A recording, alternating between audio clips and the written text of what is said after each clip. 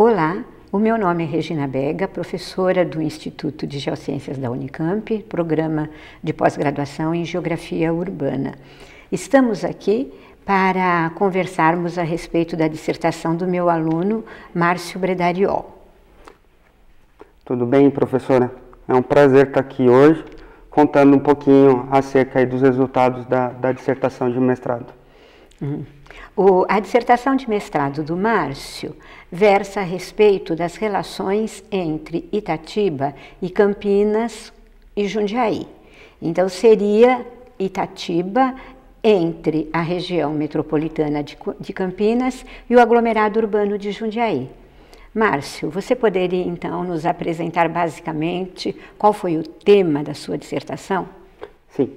Bom, é, o tema então da dissertação seria uma tentativa né, de, de, estabelecer é, as relações que, que os habitantes da cidade de Itatiba é, têm com a região metropolitana de Campinas, em especial com a cidade de Campinas e também com a aglomeração urbana de Jundiaí, em especial é, com Jundiaí.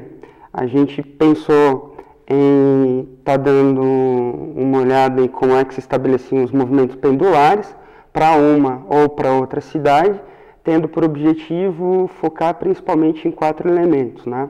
Então, movimentação para lazer, para consumo em shopping centers, principalmente, movimentação para fins de estudos universitários e também serviços médicos especializados. Uhum. Então, este foi o seu interesse né, nesse estudo uh, dessas relações entre Itatiba com Campinas e com Jundiaí. Isso. Né? E, nesse sentido, uh, quais foram os caminhos percorridos para o desenvolvimento dessa pesquisa?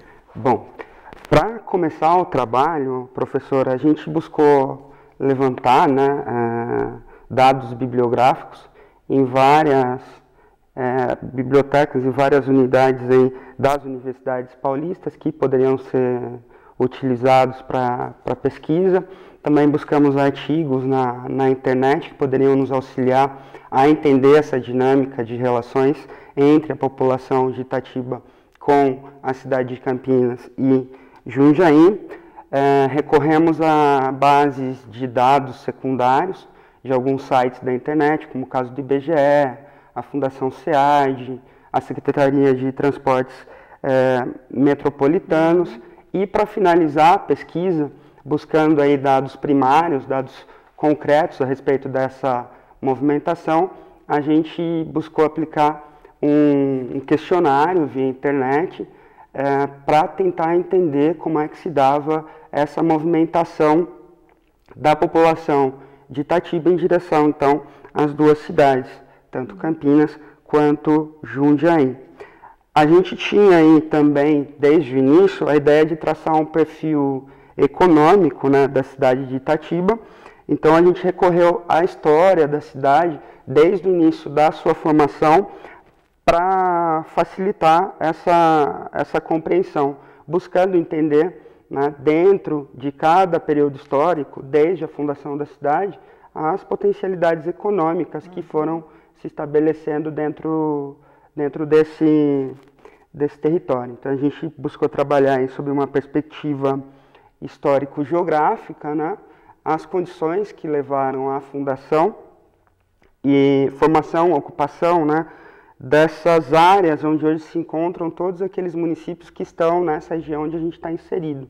Né? O primeira, a primeira área a ser ocupada, na verdade, foi a, a área onde hoje está a cidade de Jundiaí, era chamada Vila de Jundiaí, e a partir desse núcleo foram se formando os demais. Campinas, Itatiba, né? todas as cidades, na verdade, que compõem a nossa região, remontam lá né, desse processo de desmembramento que foi sofrendo o Jundiaí, aí, principalmente a partir do século XVI. Importante lembrar, professora, que Jundiaí estava num entreposto muito importante, porque era uma cidade que era ponto, uma cidade não, mas um local que era ponto de parada né, para os tropeiros que, que chegavam aqui à, à província de São Paulo, né, é, para chegar a, ao caminho do ouro, né? Era a estrada aí da, do Anhanguera, o caminho de Goiás. Né? Então, até o século XVIII, o que, que a gente percebeu? Que esses limites aí da chamada Vila de Jundiaí, eles extravasavam bastante aí todos os limites do que a gente conhece hoje como, como estado de São Paulo. E à medida em que foi se descobrindo ouro, principalmente né, no território de Minas Gerais, esse território de Jundiaí ele foi perdendo, algumas partes foram sendo fragmentadas, e também à medida em que algumas regiões ganhavam mais importância, era a tendência natural que elas se tornassem autônomas. Né? Fato que ocorreu com a freguesia de Campinas em 1797 e também com, com Itatiba lá em 1857. Né? Então a gente percebe que lá no século XIX, quando a gente compara as dimensões da Vila de Jundiaí né, ao século XVII e também ao século XVIII, essas dimensões já eram bem menores, né? ela foi perdendo território. Aí, focando mais em Itatiba, que seria o objeto mesmo principal da nossa pesquisa, a gente começou a procurar entender, então, é, o perfil econômico, como é que ele foi se delineando desde o início da, da história da cidade. Né? Então, a gente pegou primeiro processo de ocupação desse povoado rural, que ainda era muito marginal em relação a Jundiaí. E aí o que, que a gente percebe? De início, você tinha uma pequena ocupação no território onde hoje está Itatiba, mas era uma ocupação ainda muito incipiente, né? E você tinha ali a produção de alguns produtos agrícolas que, de maneira geral, não eram voltados aí à, à economia de mercado, né? Eram mais para consumo próprio da população que havia se estabelecido naquela localidade onde mais tarde se formaria Itatiba. Hortaliças, né? vegetais de maneira geral. Mais tarde, por volta de 1830, a cana-de-açúcar é inserida nesse território, onde se formaria a cidade de Itatiba, e aí a gente começa a ver uma maior inserção desse território dentro do contexto da Vila de Jundiaí. Ela começa a ganhar um pouquinho mais de importância dentro do contexto da Vila de Jundiaí. Porém, é sempre bom lembrar né, que o fato que realmente vai levar há um crescimento demográfico, há uma maior importância do povoado, né, onde se formaria Itatiba dentro do contexto de Jundiaí, é a inserção do café, da cultura cafeira, uhum. em meados de 1850. Né. Esse fato, inclusive, professor, é bom lembrar, permitiu aí que em 1857 essa freguesia, né, que tinha se formado em Itatiba, passasse a ter status de vila. Né? Ou seja, ela adquiriu é, independência tanto econômica né, quanto política do núcleo da vila de Jundiaí né, e começa a se estabelecer ali então um núcleo com uma importância um pouquinho maior. Uhum. Né? O café trouxe ainda a necessidade para Itatiba de que houvesse é, a possibilidade de haver ligações desse local com os demais cantos né, do estado de São Paulo por conta da economia cafeira. Então, foram construídas estradas. É, no final ainda do século XIX, a gente teve a construção de uma estrada de ferro nessa, nessa região. Além do que? Além do café, começaram a se estabelecer ali as pequenas indústrias né, mais tradicionais e casas de comércio também, né, que era bem comum aí nessa época, para abastecer a população que havia se estabelecido ali. Né? Indústrias bem tradicionais né? e casas de comércio que, na sua maioria, eram de, de propriedade dos imigrantes italianos que chegaram aí no início do século XX. Então, essa dinâmica né, da, da, do crescimento da economia né, da, da, da, vila de Itatiba, né, do, do processo de industrialização, vai ser entendida primeiramente no contexto mais geral do processo de industrialização de São Paulo. Uhum. Né? Então, a gente percebe que as cidades do interior foram aquelas responsáveis por fornecer à cidade de São Paulo, que era maior, aqueles bens de consumo não duráveis, né? que não uhum. eram produzidos em São Paulo, né? a partir de indústrias mais tradicionais. Até os anos de 1950, Inclusive, esse ramo mais tradicional dentro da cidade de Itatiba foi o ramo têxtil. A partir de 1950, a gente tem uma mudança nesse é, perfil industrial, mais uma vez, por quê? Porque começa a se estabelecer em Itatiba novamente é, um novo tipo de indústria. É, seria aí a, a, indústria de imóveis coloniais em madeira maciça, uhum. Que foi muito importante para a economia da cidade até o final dos anos 80, né, quando ela começa a entrar em decadência. Ela foi bastante importante porque no seu período de auge, ela chegou a empregar dentro da cidade em torno aí de 5 mil pessoas, direta e indiretamente. Né. Aí por que, que ela cai né, em declínio? Por que, que ela entra em declínio? A gente tem todo o processo de modernização dos processos fabris uhum. A partir da terceira revolução industrial e ela não segue esse processo de modernização além do que as décadas de 80 acabam impactando muito fortemente essa indústria. Né? É, eram móveis voltados essencialmente para a população e para os consumidores de, de, alto poder aquisitivo. Né? Então, com a crise dos anos 80, a gente tem uma mudança nesses padrões de, de consumo. A partir, então, dos anos 80, a gente começa a perceber novamente uma mudança no perfil econômico da cidade, com a transição daí, né, dessas indústrias de imóveis para indústrias mais variadas de vários outros setores, né, têxtil, metal mecânico, metalúrgicas. E aí hoje quando a gente pega o setor industrial em Itatiba, a gente percebe que ele é bem variado.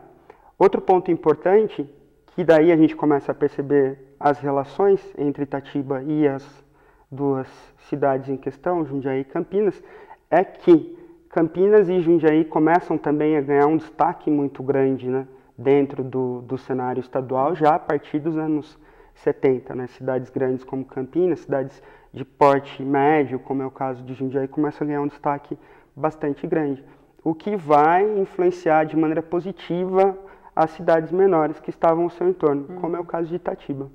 Uhum. Tá? É, a, é muito interessante, né? O, esses, essa sua preocupação né? de compreender Itatiba nesse contexto.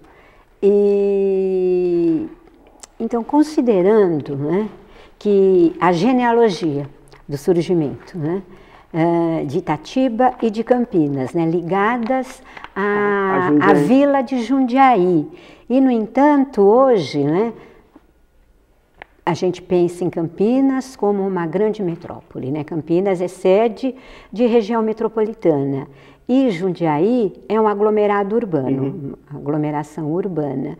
E no seu estudo, você se preocupou em enfatizar as relações de Itatiba com estas duas cidades, Sim. né? Fale-nos um pouco sobre isso também. Então, professora, o que, que a, gente, a gente percebe, né? É a partir do momento que, que o Estado de São Paulo começa a, a ganhar força né, dentro do contexto econômico nacional, por conta do café, uhum. né, a gente já percebe uma dinâmica bem forte dessas cidades muito próximas à capital paulista, no que diz respeito ao seu crescimento. Quando a gente fala de Campinas, é, na verdade, ela, ela começa a adquirir esse caráter metropolitano que a gente nota hoje, já entre as décadas de 60, 70, uhum. até os anos 90, ela já tinha um caráter aí bem, bem metropolitano, muito forte. Por quê? Porque o crescimento econômico dela e também populacional, entre os anos 60 e 90, ele vai se mostrar maior do que o da própria uhum. capital. Né? Uhum. Né? Então, ele é proporcionalmente maior e economicamente maior também, o crescimento de Campinas. Então, ela ganha um destaque uhum. dentro do, do contexto estadual muito grande. Além disso, a gente tem todo um processo e todo um planejamento do governo do estado investir nessa região em infraestrutura, estrada, é, aeroporto, né, que vai causar um boom de crescimento mesmo nessa região, além de, de investimentos em centros de pesquisa, em universidades, que vai dar um, um destaque, enfim, para a região de Campinas é, como um todo.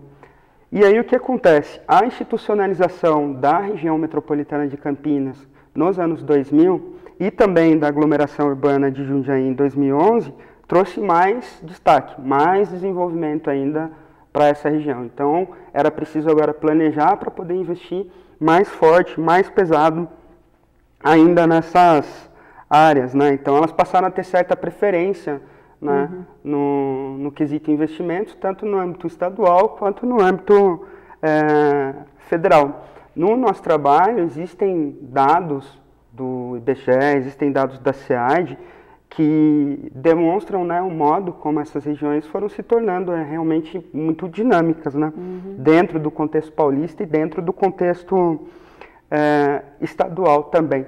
Esse processo de dinamismo econômico levou a um processo de é, dinamização também no que diz respeito às movimentações pendulares. Uhum. Né? Então a gente percebe que há uma ligação muito forte Isso. entre essas cidades né? Então você percebe uma movimentação muito forte de bens, de mercadorias, de capitais entre as cidades que compõem né, tanto a região metropolitana de Campinas quanto o aglomerado urbano de Jundiaí e de pessoas também. Né? Uhum. Então as pessoas trabalham fora dessa cidade, estudam fora dessa cidade, a gente percebe um dinamismo muito grande.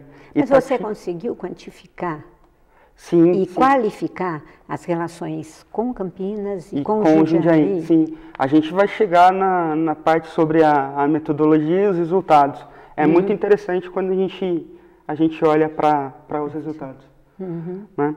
É, Itatiba é o caso de cidade que está vinculada fortemente à região metropolitana de Campinas, uhum. mas também mantém aí uma relação muito forte com Jundiaí. Por quê? Por razões históricas, né? É, por razões econômicas também. Uhum. Tá? Então é muito interessante mesmo, né? E o trabalho do Márcio está né, uh, disponível né, na internet para os interessados que queiram né, ver com mais detalhes né, essa pesquisa a respeito dessas relações entre né, a população de Itatiba com né, as cidades, com os municípios de Campinas e Jundiaí. Então, muito obrigada pela atenção e até a próxima.